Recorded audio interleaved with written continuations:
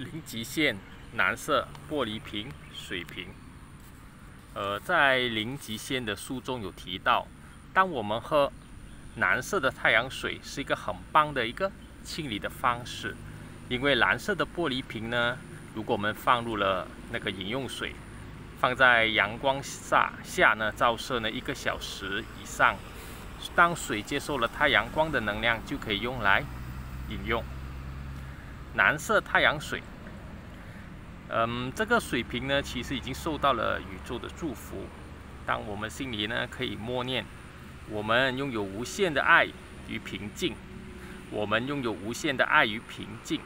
我们拥有无限的爱与平静三片。然后我们观想一道蓝色的光，能从眉心轮发出，射到玻璃瓶中，瓶中的水透过蓝色光得到了净化。然后呢，当我们放了水，我们再安上这个呃那个玻璃塞，然后就能放在我们的阳台上或者是草坪上，让它接受太阳的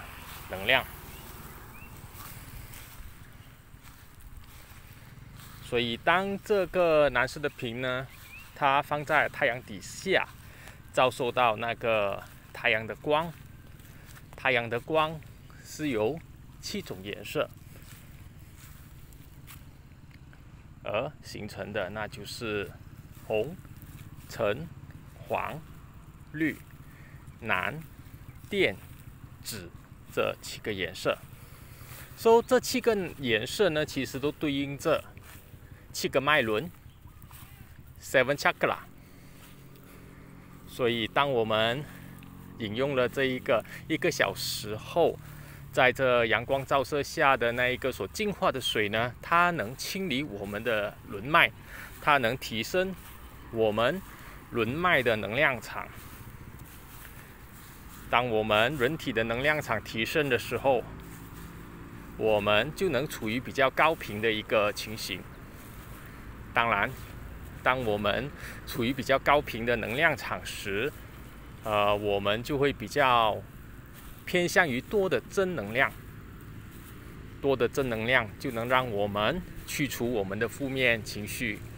呃，就像是我们的那个创伤啊，过去的创伤啊，我们以前所受到的一些伤害啊，一些不好的那个记忆的情绪，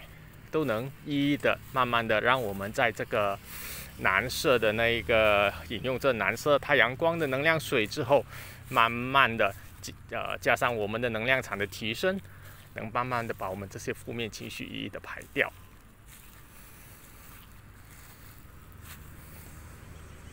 所以这个就是今天要跟大家分享的一样。So，谢谢大家，感恩大家。